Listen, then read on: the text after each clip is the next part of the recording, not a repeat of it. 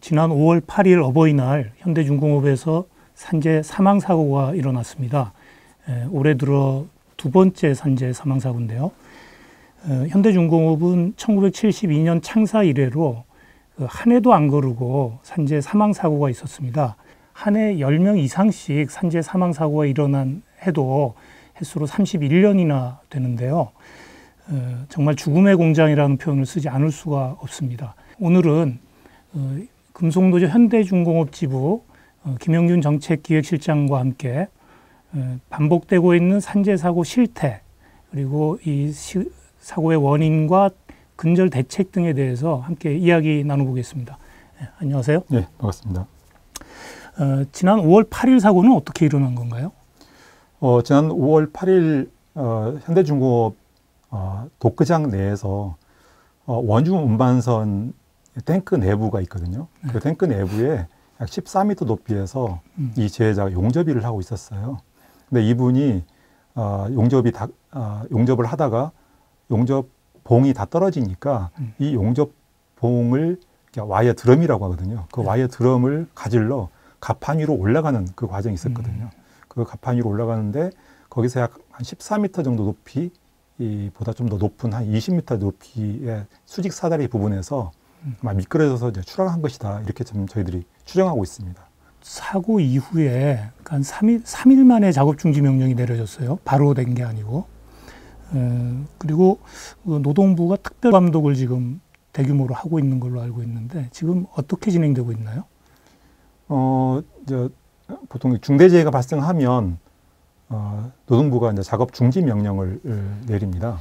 근데 작업 중지 명령을 내릴 때 어, 그 중대재해가 발생한 작업장과 유사한 곳은 다 작업 중지 명령을 내리는데 이번에는 음, 고소 작업에서 작업, 어, 중대재해가 발생했기 때문에 이 고소 현대중공업에는 고소 작업장인 대부분 고소 작업, 작업장이거든요. 그 고소 작업장 전체를 작업 중지를 좀 했으면 좋겠다 이렇게 노동조합에서 입장을 발표했지만 어, 노동부가 토요일, 일요일, 그다음에 월요일까지 작업 중지 명령을 제대로 하지 음. 않았어요. 그래서 노동조합에서 계속 문제 제기를 했고 어, 그래서 월요일 저녁에서야 음, 어, 현대중공업의 다섯 개 노크에 음. 대한 어, 작업 중지 명령을 했죠. 아. 그런데 어, 작업 중지 명령을 했지만 도대체 어느 곳이 고소 작업장이고 어디는 또 아닌지 그 범위를 음. 가지고 현장 작업자들과 음, 그 회사 감독자들과 굉장히 실랑이가 많이 벌어졌죠.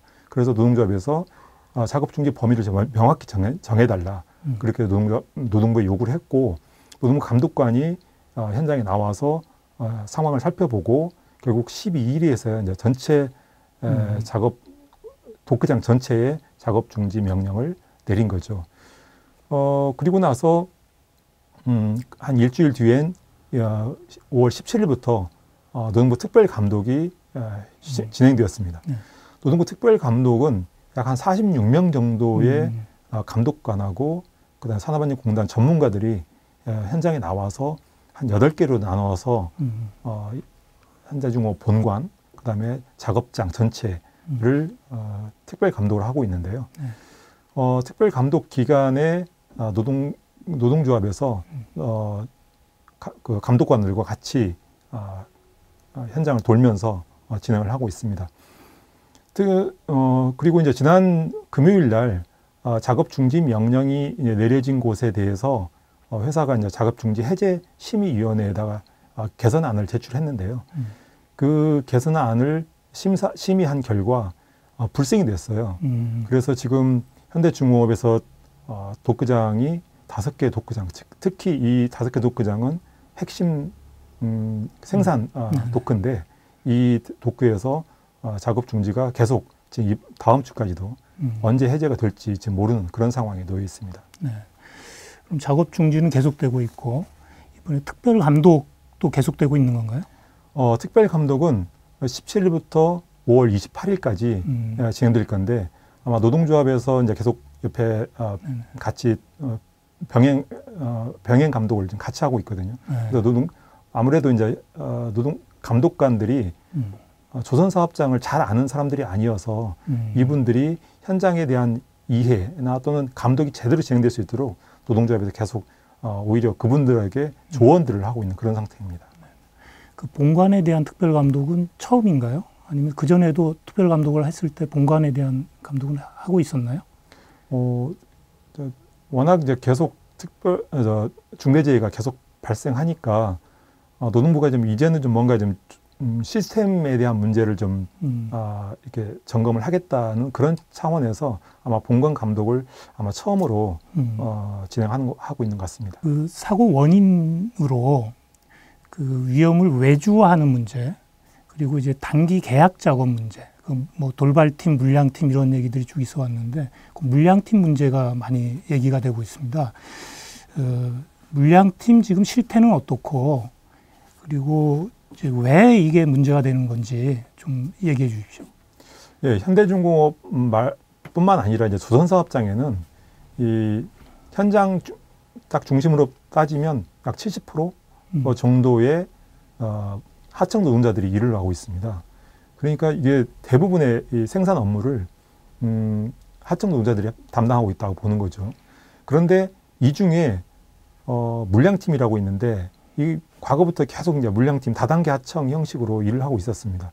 자, 이 사람들은 주로 어떤 그 아, 공정이 좀 늦어진 이런 곳에 가서 딱 투입됐다가 또 그 공정 맞추고 또 빠져나오는 그런 방식으로 어, 주로 이제 급한 작업, 돌관 작업을 주로 진행을 하는데 이런 사람들이 현재 현대중공업 내부에도 어, 현재 이제 단기 프로젝트란 이름으로 어, 약 한 천 명 정도가 일을 하고 있습니다. 근데 이 사람들이 어, 작업 방식은 어, 이- 계약 방식은 일- 주로 일당제로 일을 하고 있고 또이 원 하청 업체가 원청과 계약 방식도 어, 주로 이제 좀 어, 물량을 딱딱 따서 하는 것보다는 작업 범위를 좀 정해서 용접이면 용접, 도장이면 도장, 뭐 취부면 취부 이런 식으로 따로 이렇게 계약을 하는 것으로 그렇게 지금 보여지고 있습니다. 그래서 이분들이 일하는 방식이 늘 작업 현장을 돌아다니면서 일을 하니까 이 불안정한 상태에 늘 노출될 수밖에 없고 또 이분들이 어, 안전 교육이나 또는 안전한 작업 상태에서 일을 할 수 있는 안전 관리 이런 것들이 제대로 안 되고 있죠.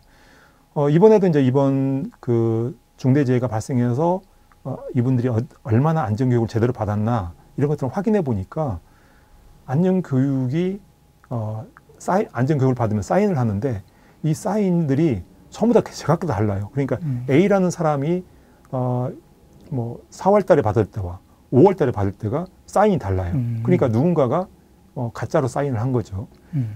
어, 안전 교육뿐만 아니라 현장에서 안전 관리를 한- 함에 있어서도 작업 이 관리를 하는 사람이 따로 필요한데 이런 안, 고조 작업이나 또는 위험 작업에 대한 작업 관리를 하려면 또 추가 인원이 필요하잖아요. 그런데 이런 곳에서는 어, 인원이 충분하지 않기 때문에 안전 관리를 제대로 할 수가 없죠. 음. 또 뿐만 아니라 이분들은 이제 노동조합이나 이런 것으로부터 어, 보호를 받고 있지 못하고 있기 때문에 위험 작업이 어, 위험 작업이라고 생각해도 이 작업을 거부할 수 없는 음. 어, 그러니까 결국 알 권리나 안전보건 계획에 참여할 권리나 또는 음, 음. 내가 작업 위험 작업에 대한 작업 거부를 할 수 있는 권리나 음. 이 산업안전보건법에 정해진 기본적인 노동자들의 안전 보건에 관한 권리가 배제돼 있는 상태입니다. 그럼 네. 결국 현대 중공업은 음, 이 위험 작업마저도 외주화했다. 저는 음. 이렇게 어, 얘기하고 있습니다. 네, 이번에 그 산재 사망 사고를 당한 이제 그 재해자 분도 이제 물량팀 소속이었는데요. 그 지금 얘기를 쭉 들어보면 이게 물량팀 문제, 위험의 외주화 문제가 해결되지 않고서는 이 산재 사망 사고가 또 다시 반복될 수밖에 없을 것 같은 생각이 드는데, 예. 뭐 대, 그러니까 노동조합에서 실제 이 물량팀과 관련해서 요구하고 있는 것들은 어떤 건가요? 그동안에 이제 현대중공업이 중대재해가 계속 발생하면서 반복적으로 요구했던 내용이 이, 음, 이 하청 고용 구조를 바꿔라. 음, 이 하청 고용 구조는 근본적으로 안전 관리가 불가능한 어, 그런 음. 고용 구조이기 때문에 이것을 바꿔라라고 하는 것이 하나 있고요. 음. 어, 두 번째는 이제 노사 관계를 좀 더 안정시켜라. 음, 이게 노사 관계가 불안정하면 그 현장도 불안정하기 때문에 이 노사 관계를 안정시키는 것이 매우 중요하다. 이렇게 얘기하고 있고요. 음, 세 번째로는 어, 노동부가 음. 이렇게 중대재해가 발생할 때마다 뭐 대규모 인원을 투입해서 뭐 특별 감독이니 뭐니 이렇게 하지 음. 말고 상시적으로 음. 현장에 상주해서 예방 감독을 진행하라 이렇게 음. 요구를 하고 있습니다. 그런데 이제 노동부가 아직도 이제 노동조합의 요구를 제대로 듣지 않고 또 회사가 어, 이 노사관계를 노동조합을 좀, 음, 잘 인정하지 않고 있기 때문에 특히 이런 문제가 발생하고 있고요.